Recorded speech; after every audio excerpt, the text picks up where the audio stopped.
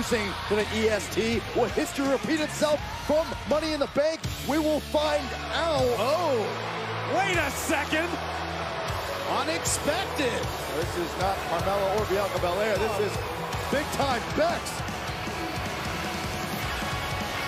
We are being graced by the presence of big time Becks. Becky Lynch is in the house. The Raw Women's title is on the line This is going to be good. I didn't do Booker any justice.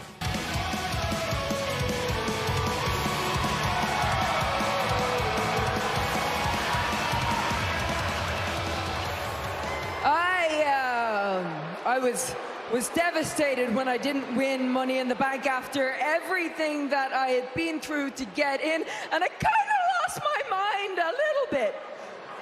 But then, but then I sat with myself and I realized that cashing in, say, the way Liv did, well, that's like that's like winning the lottery, isn't it?